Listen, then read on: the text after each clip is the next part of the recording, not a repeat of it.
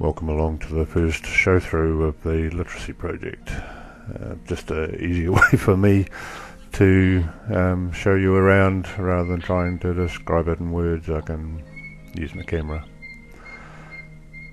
Looking here at the terrain, how different it is from what I first started out with. As you can see now, the no hub in the centre. The hub's off to the bottom right of the screen here. And the rest of the land is the game, and that's really what I wanted to show here was uh, the the game's the thing. The hub is just where you start from.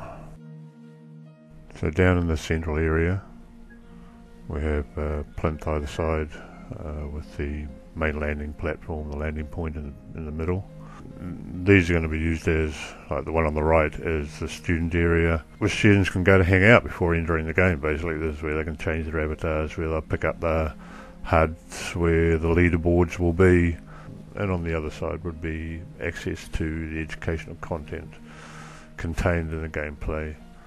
So links off to different websites, to WikiEducator entries, etc. Um, where the student can access supporting documentation. Um, quite possibly um, up in the sky, that might just be a transport point to it. Um, in fact, that's what I'm leaning towards at the moment.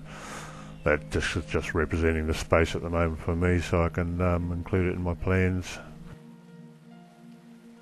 Let's head over now and have a look at the main terrain. You can see how it's divided up into, um, this is the starting point here, it comes along these pathways and it's sort of divided into gullies that leads to these enclosed areas. And this is where each of the levels will be, these will be the starting points for each of the levels in the game. This uh, whole area was developed out of a Photoshop file and then moulded afterwards to individualize each each part of it, but at the beginning it's quite uniform. But it allowed me to very quickly set levels, trying to, in, in that sense, replicate um, level playing in a game that you're moving up and you're moving higher.